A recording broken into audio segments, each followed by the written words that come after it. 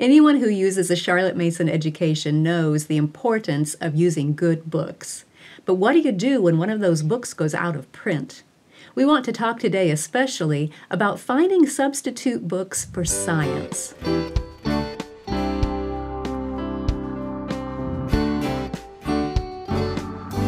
Welcome to the Simply Charlotte Mason podcast. I'm Sonya Shafer. Joining me today is my friend and coworker, Karen Smith. Karen, books going out of print. What's up with this? For science books, it seems like they do not stay in print very long at all. Yeah, just a year or two and then they go out. Yes. And you think that you have one and this is going to be a great one. And as soon as you schedule it, it's gone. And so it's hard to keep up with those living science books being in print. Sometimes you can find them in a local library. Yes. Even if you can't buy it new, you can find it used or at the library. But if you cannot find it anymore, what do you do? Skip that topic? Oh, no, don't skip the topic.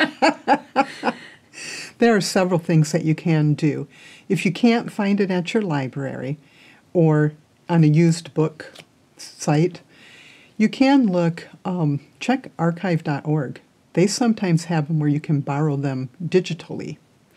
Okay. So that's a good source there. If you can't find it there, now you, you are going to have to do some digging. and we're looking for a, another living book on the same topic. yes. Does it have to be at the same age level? Not necessarily. Sometimes you can go down or maybe even up a level if you have grades one through three. You might need to go up a level to find a book. If you have older students, you might consider going down to even books that are at the fourth through sixth grade level. They contain a lot of information and they're not 500 page tomes that are just dry facts and are boring. And so you want to find that sweet spot of having enough information but being enjoyable to read. Now, just as a clarification, when you're talking an upper level, like if you have a high school student, you don't want to give them all fourth through sixth grade books, right? No, no. Um, you want to find some that are within their own grade range also, if you can. But Just to earn that science credit, you you're not Right. going to be using all picture books. particularly if you're if you are designing your own high school science course, like maybe something on botany or astronomy, you will you can there's some wiggle room. We can put it that way. Yeah, that's a good way to put it. Good way to put it. All right, now I know that there's also a fabulous resource that you have created. Spill the beans on this one. Tell everybody where to find this. So we have a living science book list on our website, and that is a good source for finding some substitutes because those have all been pre screened by me as being living books. So that's a good source to go. If you can't find a, a book on, let's say, ducks, the one that's scheduled, you can't find that one, you can go to our Living Science book list and see if there's another book that you can get that's listed there. We'll leave a link to that in the description so everybody can get there right away. You've put a lot of hours into that. It's such a valuable resource. And that's um, delineated by grade level, correct? Grade level and topic. So, so they should be able to find some in there. yes. Let's talk for a minute about what to look for in a substitution book. What do you look for when you created that list? What was your criteria for, you know, what's going to go on that list and what did you pitch? I assume your pile of what I pitch was much bigger than your pile of what I recommend. Yes.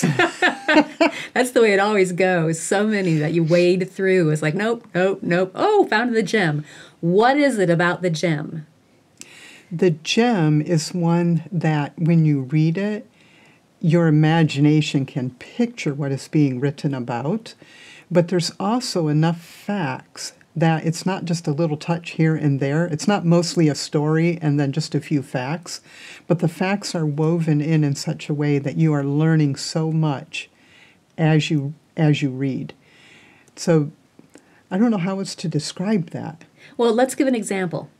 Okay. Okay. We we found a couple of books here, and and as we were talking before, it's easy for people to think with a living book it either is or it isn't. Yes. And that's not always the case. A Not lot of times with living books, there is a spectrum there. Um, and we need to rate it on a scale of is it only dry facts? You know, that's your zero point on the scale. Or is it it's fire in my imagination all over the place with all these ideas? That's a 10 on the scale. Yes. But some books might be a 5. Correct. And are there any times when we have to use a 5? There are times when you might have to use something lower than a five. Uh, particularly for science books, there are topics in science that it's very, very hard to find a living book for that topic, but you know you need to cover it. Give me an example. Rocks. it is very hard to find a narrative telling of the properties of rocks and the different kinds that are out there. And so choose the best that you can find. And I think that's key. You don't want, if a field guide, if you have a choice between a field guide and another book that will give more details, choose the other book because the field guide is going to be very short, these are the facts type thing. Field guides are good, they have their purpose.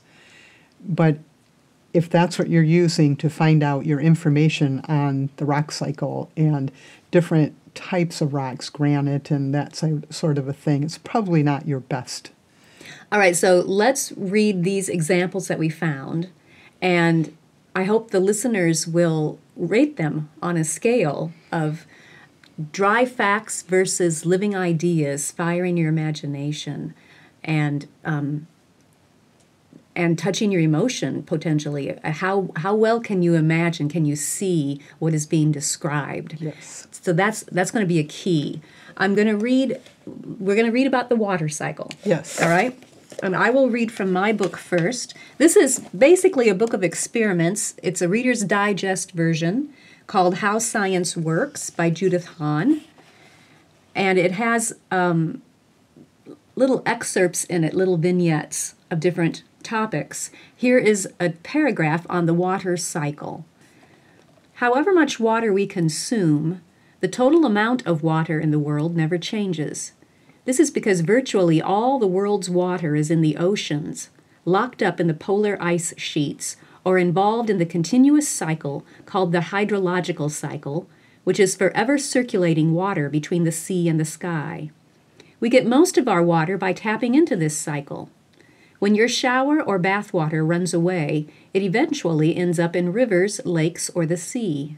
From here, it evaporates in the heat of the sun to fill the lower layers of the atmosphere with invisible water vapor.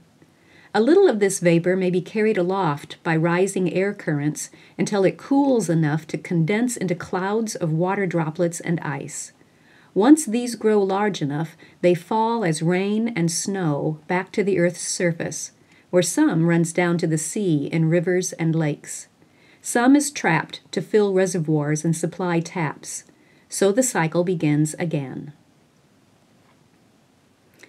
I could picture some of it when they're talking about your shower or bath water. Um, that that was mainly it. so that's just a paragraph about the water cycle in this book. Now you have an example from um, a book that you recommend, actually. Yes, in our science course, Exploring What God Has Made, for um, grades four through 6 any child in those grades can use that course. And this book is just, it has a little bit about the water cycle, but it has bits about different properties of water too. Yes. Things like sur- surface tension and the droplets and things like that. But I will read about the water cycle from this book. Can you give the title of the book for our listeners? A Drop of Water. Don't know. By Walter Wick. By Walter Wick. We'll leave links mm-hmm. to these in the description. Okay, read me about the water cycle. The sun's heat and the earth's gravity keep water in constant motion. Water evaporates from puddles, ponds, lakes, and oceans, from plants and trees, and even from your skin. Water vapor moves invisibly through the air, but it is always ready to condense on a cool blade of grass or the surface of a pond.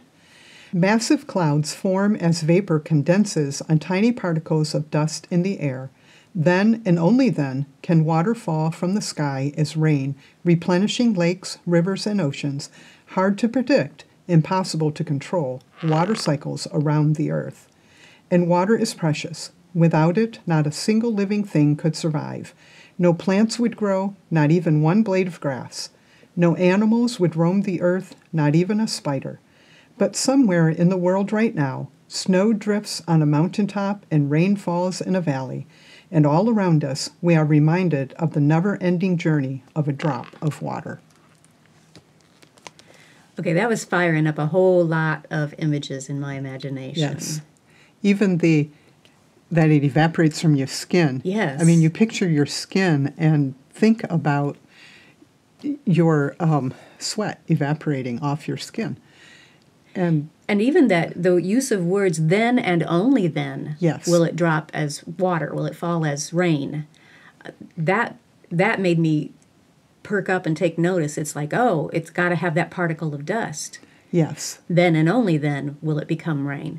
And so there are a lot of great ideas in that passage. I would rate that particular paragraph as, you know, an 8 or a 9. Yes. Absolutely. yes, And the one I read, I might give it a 4. maybe a five. Maybe, maybe. But but the ideas contained here, you can you can hear all the things about the water cycle in there Yes, without just the straight telling of the water cycle. yes. Now, in this case, and and even in the rock case, all right, where where we might not be able to find a good living book, talk a little bit about how nature study can compensate, if you will, or at least supplement and help that situation. Yes. Science and nature study go hand in hand. What you read for science is your child learning about the different topics of science, everything that they can through written material, sometimes videos. When they go out into nature, now they are making their own personal connections with the things that they have learned obviously there are things that we learn about that we're not going to be able to make personal connections with. Things like we live in the United States. We're not going to be able to make personal connections with something that we read about in Africa. But we can still learn about nature in Africa. Maybe someday we'll go there and we can make a personal connection, but overall, most of your personal connections are going to be made in your location. But so it's that coupling of personal connections with what they read, and that personal connections is what really makes science come alive for students. When you see it, let's give an example.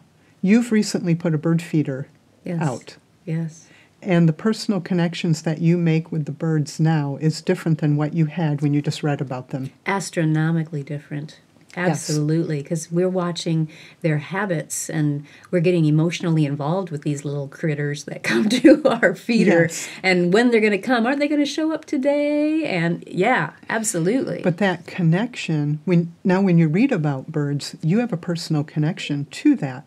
So you're paying attention to what you're reading more than what you would have if you didn't have that personal connection. so the two feed off of each other, if you will. The the living science book uh, informs your mind and fires your imagination so that when you see it in person you have a little more background to it. You recognize it more. Like like uh, it, when you see a puddle as we read about in in a drop of water you think about potentially you think about that that cycle of water and Yes. what part the puddle plays. So your your science has informed your nature study. But then also what you're seeing in nature and what you are observing creates a curiosity to learn more.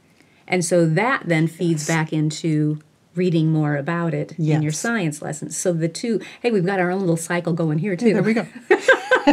a science cycle. Yeah. Yes, yes. I have one more tip for finding those living science books. Okay. If you have to get a substitute, um, look at the narration prompts, particularly in Discovering What God Has Made and Exploring What God Has Made, those two science courses that are our newest ones.